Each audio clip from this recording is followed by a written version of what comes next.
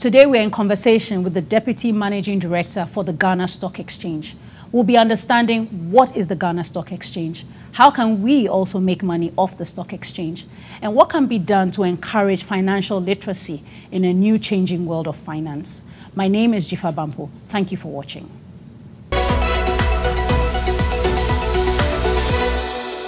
Thank you very much, uh, Abena Amoah. Thank you very much for joining us on First Take. Thank you, Jifa. Thank you very much for having me on this program. Great. And uh, you've been Deputy Managing Director for the stock exchange. It's almost a year, isn't it? It is almost a year, and I can't believe what a year it's been so yeah. far. Yes. Lots of time has passed, lots yes. of work also. Absolutely. Certainly, um, a lot of changes in the last one year due to COVID-19.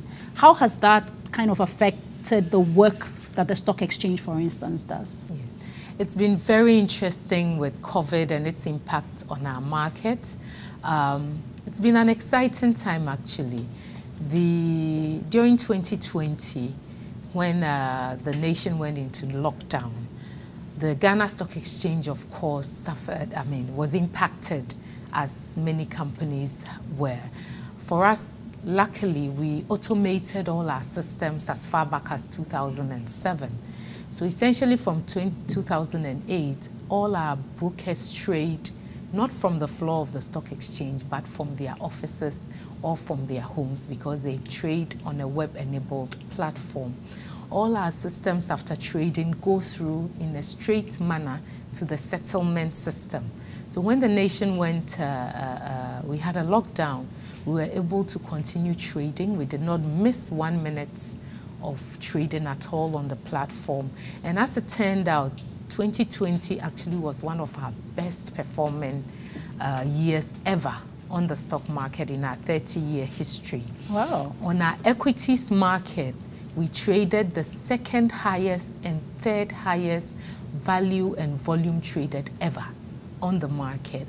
And on our debt market, which is our uh, fixed income market, which we set up about six years ago, we smashed for the first time the 100 billion volume of trading. We traded double what we did in 2019. So the stock exchange itself, uh, the performance of the market was quite good uh, last year. Of course, we had to protect our staff so we went into a system where we provided additional resources to enable staff work from home. And so all the, all the human capital that we needed to make sure they were safe, we did everything to make sure they had access to the right uh, medical advice, uh, the right PPs to enable them to work. When it came to the listed companies, there were some companies that, of course, were impacted negatively uh, during COVID. Um, you can see companies that were that were in the manufacturing, some of them in the manufacturing, some of them in the food processing area suffered, and yet there were gainers. So the telecom companies that provided the data services, the digital solutions for us to continue to transact business, we saw in their financial statements that they did well. So overall, I would say that on the stock exchange itself, COVID didn't impact us negatively as a company. We were able to test all our business continuity plans and make sure that we function completely uh, seamlessly during the period. Um, and then we protected our staff, and thanks be to God, none of us were impacted badly. That's it good was a know. good year. Congratulations. In reference to Ghana, when you want to tell people what the stock exchange is all about, how would you explain it to them? It's a very, very simple concept. And I want to not make it technical at all. The stock exchange is where companies that need long-term capital, long-term capital to grow their businesses, to employ more people, to create value for our economy. This is where they come to raise long-term capital. Long-term capital can be raised mainly through two formats. You can do what we call issue shares, where you invite people to become shareholders in your business. It means they are a co-owner in your business and they take up some of the risk that you face as the person who started the business. And for that, they give you money. And you take that money and you buy more equipment, hire the best people, do marketing, etc., and grow that business. So there's that side of the people who come, or companies who come to the stock exchange to raise capital, long-term capital. Then there's the other side of a stock exchange of people who have savings who have over the years they have plans to retire well to pay for their children's education to build a house in the future. So over the years they've built up a savings pot. And they want those savings to get bigger than planned. So they invest those monies. They create they look for investment opportunities. And they are looking for well-run businesses with potential for growth to invest in them so there's the savers who are looking for investment opportunities, and it can be an individual like you and I, it can be a company, it can be a fund. They can come together, create a bulk pot of money, and look for investment opportunities. In these companies that are either looking for shareholders or another form of capital they can be looking for is debts or loans, long-term debts so here is where they come to say, okay, give me a loan for five years because I want to buy new equipment and expand my factory and it will take me about five years to pay you back that money. Mm. So they come to the stock exchange and they also issue what you call corporate bonds. So the investors can give money to companies and even to governments. So that is essentially what the stock market facilitates. After you've given the money to the company that wanted to raise capital, your plans may change or as they are using your capital, you may decide that I've met my investment targets in this company. What do I do with my shares or the bonds that I, the loan I gave them? You meet other like-minded people on the stock exchange where you can sell that investment you made in the business to another person. So that is essentially what the stock exchange is there to facilitate the trading of the securities that are issued as we give long-term capital to governments or companies. In explaining it this way, is it a good way to measure Ghana's business environment, how businesses are performing on the stock exchange? Yes. You're absolutely spot on. The purpose of stock exchanges is to mirror the national economy. So first we must have a broad range of the companies that are impactful on the Ghanaian economy onto our stock market and you will begin to see that it very much closely mirrors how the national economy is doing. Shell unfortunately is not listed it's no on more our, listed okay. has never been listed oh, on Shell. our stock exchange it is a public company and we invite them okay. to list on the stock exchange. Oh but companies in the financial sector, the banks, the insurance companies, we have gold mining companies, we have the oil mm -hmm. uh, sector, we have uh, telecoms, of course, MTN, which is a big player here. We have a few IT companies here. We don't have enough we want to move the stock exchange to the point where all the significant sectors and all the significant players in our economy are listed on the stock exchange. But it's not cheap to be on the stock exchange. if you want, if you want more companies to join, yes. from what I know, there are lots of listing fees to be paid. There are lots of annual fees that are paid. So it's not cheap to be listed on the stock exchange. That is actually not the reality when we investigated what other markets cost. The actual listing costs when you are out to raise capital. Remember, a lot of these companies go out to raise capital. The SEC regulates the amount of money you can spend as you go out to raise capital. And they cap even those expenses to not more than 5% of what you raise. That's first. We found that many companies raise capital at costs to uh, amounts raised of maybe 2.5%, at most 3%. And that includes all the cost of running very expensive marketing campaigns and raising the capital. what we want to make sure on the stock exchange is that the companies that are listed here put in place systems that allows them to be accountable to the investors that have given them the money. So you must have a board, a strong board, and a strong board that has put in place systems that allows you to audit your accounts, to choose the right auditors, to have annual general meetings, so you can account to the people that have given you uh, the money. But as we say, there's not, there's always room to do better. The benefits of listing on our GAGs is so overweighs or outweighs the 4,000 cedis of getting your securities listed and facilitating the trading of, of, uh, of, of uh, investors in those securities. So we do not think that... That fees are the, deterrent? The, no, we do okay. not think that's the barrier. Well, any, I, any idea why the we don't see enough of the companies yes. then listing? I, I think there's a there's something cultural about Ghana that we need to work on, and that is the concept of opening up our business to attract capital, to have more partnerships, and to grow that business beyond what satisfies us so, and our immediate family. So are you saying that a lot of the companies that list are typically foreign, have a certain corporate identity, and not per se local or family-owned businesses? Yes, there's only so much you and I, as a small business, can grow uh, with our own capital.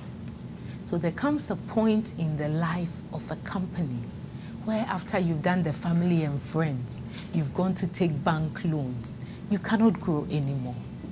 None of the large global companies have grown just by financing themselves on corporate, on bank loans, and especially in Ghana, where it's just short-term, uh, expensive bank loans. So you must only grow long-term if you are going to access long-term capital. And the long-term capital is the shares and is the opportunities that the Ghana Stock Exchange provides. This is where you come to find shareholders who say, we are not going to be part of your day-to-day -day management of the business, but here we will fund 50 million Ghana cedis, 100 million Ghana cedis, or in the case of MTN, 1.1 billion Ghana cedis when they raised capital. We will give you this money, invest in more infrastructure, take advantage of AFTA, grow your business so that we create champions that live beyond the founder because that is where a lot of our companies are. Uh, last week we signed an MOU with the Stanford Seed Network, an amazing network of 100 Ghanaian-owned founded businesses. And they are all going through a very important transformation agenda.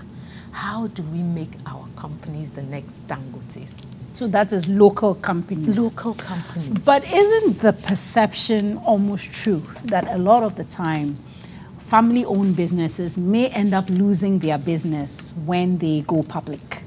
That's, that, to the contrary, hasn't been our experience here. A lot of the family-owned businesses, Camelot, that listed, uh, Mechanical Lloyd until their recent yes, uh, delisting. Uh, delisting, have retained what about is it Ac was it Acton as well? Acton, yes. yes, they remain on the market. Okay. The thing with companies that don't survive are many of those outside of the stock market. They do not survive because they do not have enough capital to continue to grow. And so other entrants come into their space and very soon they cannot survive the competition. So the stock exchange is where you come, you raise the capital that you need, you put in place the governance structures that will strengthen you. This is where they go because that is what stock exchanges do. I know there's also a perception that it's only some type of businesses that do well on the stock exchange. So the telecoms uh, businesses, those engaged in um, consumer uh, services. But there's a view that companies that operate in the extractives, for instance, don't seem to do very well and have the sh their shares dip. What kind of clarity can you bring to us on those issues? Okay, so we've had, uh, if you take our Ghana alternative market, for instance, we have Intravenous Infusions Limited, which is a company, one of our best success stories on the company. They it's an indigenous company. It is an indigenous They produce company. the medical infusions. Thank you. So they came, they raised capital. But isn't that because, I mean, people need infusions every day? Absolutely. So this is an indication of something we're doing, we're importing all of these things. They raised capital, they cleaned off their balance sheet, they are stronger to do better. We've also had a few, uh, um, several natural resources companies list on the stock exchange, and many of them in the gold sector, gold mining sector, and the oil, and, uh, oil, oil and gas sector. They have mostly been what we call cross listings. They are listed on mega exchanges in other parts of the world, but they operate in Ghana and they have thought it important to provide an opportunity for Ghanaians to also own their shares. So aside Anglo Gold Ashanti or Ashanti Gold Fields, which are listed, which was one of our biggest listings around the world, um, uh, the other ones like uh, uh, Tullow, uh, Golden Star have all been cross-listed because they are already listed on their local, on their international bourses in, in uh, New York or Toronto or London, and they also listed in Ghana. The performance of those companies have been affected by global uh, commodity prices, have been affected by the management of their own businesses, etc. And um, unfortunately, the story hasn't been as positive, whether it's here in Ghana or in their primary listing. But that hasn't been something the Ghana Stock Exchange itself has done to cause that. So we do take into account that there are all sorts of different sectors. There are sectors that lead to the growth of the Ghanaian economy, the services sector, the manufacturing sector, more agro-processing companies. We need to, the, we can't talk without uh, mentioning the IT sector. So these are the new engines of growth and we are very much focused on attracting more companies in these spaces. I know you've said that the Ghana Stock Exchange has a strategy plan. So I, I, assume that in trying to attract um, other areas where they would then do well on the stock exchange, that will be part of the plan. Mm -hmm. But tell us a bit about this uh, strategy plan and what you're seeking to ultimately achieve, and what are the synergies with maybe SEC or any other stakeholders? Okay, we launched a three-year strategic plan, and our aim by the end of the strategy uh, session is that the stock exchange must be the preferred platform for raising capital and for investment. The preferred platform for raising long-term capital and for investments in Ghana. Emphasis on preferred. The preferred. there are many, it's a big ecosystem for a company to raise capital or for government to raise capital. And the, our strategy is really anchored on a few things. Introduction and diversification of the products on our market is key. So to this end, very soon, uh, we have developed the rules for trading OTC. What's OTC? OTC is over the counter. So companies that are already public companies like Shell, who you mentioned, mm -hmm. but they are not listed on any stock exchange we will provide a platform for a shareholder who wants to buy those shares or uh, one who wants to sell those shares to trade those shares. So those rules are in front of the SEC right now. In terms of making ourselves relevant as a new area we are looking at is sustainable and green financing. So we're looking to see how we can put in place the rules to attract investors who are looking for green, social, and sustainable financing, whether we are issuing it in bonds or debt uh, instruments or in equity or shares type uh, instruments. Another area we are looking at, because liquidity where if you want to buy something, it's immediately available. If you want to sell some something, there's a there's a ready buyer for you. So how to improve liquidity? We are looking at the derivatives markets and introducing futures on some of our indices and specific very liquid uh, securities like uh, shares that we have on the market. So it's very important for us to be ahead of the investments uh, investor needs to provide more products and a wider variety for them. We also look at the diversification of the type of companies that are here. We've done well with the financial sector. We need to do more. We don't have all the banks that we want here. We don't have half even of the insurance companies that we want here. So we need to bring on more listings. And on that, we are targeting it this way. We are approaching the private sector and we're also approaching government.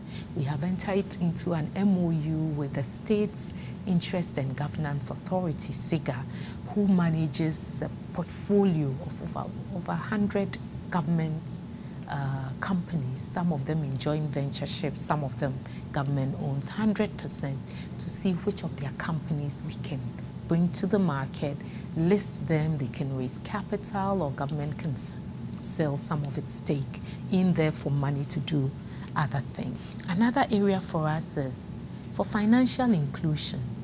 We are developing digital solutions so that as you lie on your bed, you can track your stock market portfolio you can uh, buy, you can send your order to your broker.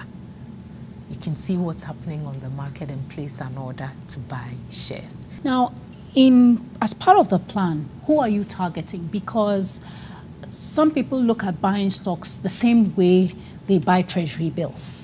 And when the stock price drops and they may not get paid a dividend, there's a lot of um, unhappiness with whatever organization. How can you make us, Ghanaians, make money from the stock exchange? So there's a lot of education that needs to go in, in there to explain the concept of risk, return, at what point in your life you decide what type of investment you want to do and your investment objectives.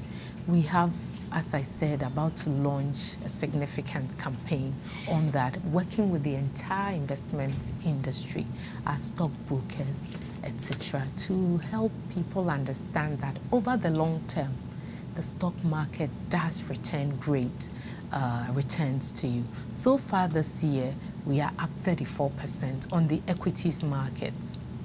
34%. There are companies, if you bought in January, if you sold today, you'd have made 80% return. That is excluding the dividend you'd have made from them. Your companies today, in the five months, you'd have made 80% return, which is tax-free. That return you made, there's no capital gains tax. It's tax-free. Okay, so there's that so people can begin to understand how you make money off the stock market. In the 31 years that the stock exchange has been around, the returns on average every year over the 31 years is 25%. It is not bad at all. But there are people also within every investment portfolio, it's not just the share component. You can also look at the fixed income mm -hmm. market. So the yeah. fixed income market is similar to what we do with treasury bills? It is, exactly. Mm -hmm. So the Ghana Stock Exchange actually runs the market for the secondary trading mm -hmm. of treasury bills, uh, treasury notes, both of which are issued by government uh, and uh, government bonds and corporate bonds that has actually grown to become our largest uh, segment of the market. So when are you hoping to implement the strategy or you've started already? We have started. We are in the implementation and it's exciting times. Lots of meetings, uh, lots of the team is totally aligned and we're pushing this. All right. What are, what are you doing for women? You know, you are you're a known women entrepreneur, you're an investment banker, you're a financial advisor, you know, an expert in, in mergers and acquisitions. What are you doing for women, SMEs? You know, it's, the World Bank tells us that in Africa, women are the ones who own the most small businesses. What are what's the stock exchange doing for this category or this group of, of business people? As they say, women hold up the other half of the sky, and no economy, no institution will develop without women taking up their rightful role. Here at the stock exchange, um, we, the stock exchange is very committed to promoting gender diversity. At our management team, it's actually 50-50. At our executive committee level, it's also 50-50. On our board, there are three women versus four currently, and when you add our secretary to the board uh, composition, it's 50-50 as well. We believe that the skill sets, the unique skill sets, the unique attributes of women help to make a place stronger. And so towards this and towards promoting more diversity in boardrooms and at the, at the corporate level, we've been engaging with groups like uh, Marcia Ashong and her Boardroom Africa.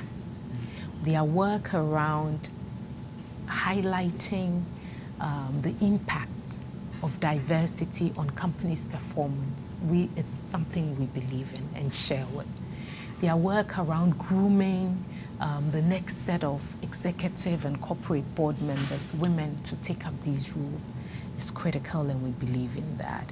Their work around, you know, sometimes companies say, oh, we don't know where to find the women directors. And they're like, here, we have a database of hundreds of people that more than qualify to sit on your board. So if any company is looking for women to sit on their board and whatever sector it is, they can come to the Ghana Stock Exchange. You provide them with a database through the boardroom. Africa, we will okay. show them our partner. And then also we realize that through our Stanford Seed Network, through our AGI, through the various uh, institutions, especially as we are looking at targeting the SME sector, we are meeting a lot more women that are running businesses. So we have Samba, which is a agro processing food uh, that's run by a woman listed on our exchange. We have Camelot, which was also uh, which is also Camelot listed is like the pioneer. Mrs. Villas exactly. is like the pioneer, and we want more of them. Mm. There are many, many women running very strong businesses, businesses yeah. and we are out there targeting them and making sure that they come and list on the market. Any final words? The stock market is out here to make sure that people's investment needs are met. What we do on our side is to make sure we have the right rules in place. Any company that comes here and takes someone's money, that they are going to turn this money around and create jobs and create products, we are here to support you and we welcome you. We're open for business.